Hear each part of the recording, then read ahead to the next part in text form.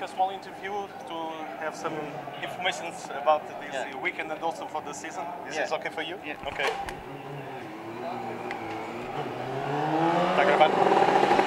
Okay, this is a chance for you to tell us about this weekend, but we also want to know uh, how is it going this season, this uh, 2012 season. How is it far so far at the moment? Ah, I, we are not very happy for the season because we have taken just one podium uh, in uh, in Silverstone, but we aren't uh, always fast, and this is the big problem for me.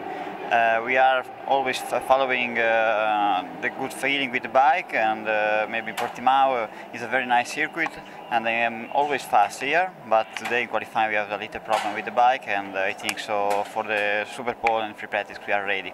Okay, and for tomorrow, what what do you expect for tomorrow?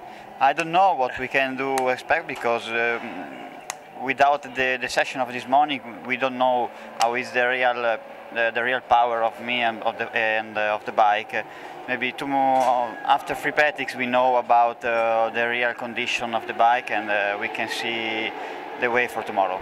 Okay, we are now ending the season. Uh, what do you expect for the rest of the season, or for example for Paul Ricard and the rest of the yeah. season, of course? I expect more because uh, I want to repeat. Uh, this is very difficult season for me, and it's very important uh, a good end of the of this uh, this year.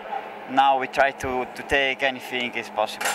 okay, and next year, uh, is it too early to, to say something about the 2013? Ah no, I don't know nothing for next year. Now we are ready only for the next race, uh, and we think this, and after we see for next But year. you don't uh, dream of uh, something for changing for the category, for example, other team? No, there's no no chance for the moment. Mm, I, I don't can, I don't speak about this because I really I don't have idea now. But uh, if I can, I want to remain uh, in BMW and uh, in Superbike. Superbikes. Okay. Thank you. Thank you. Thank you.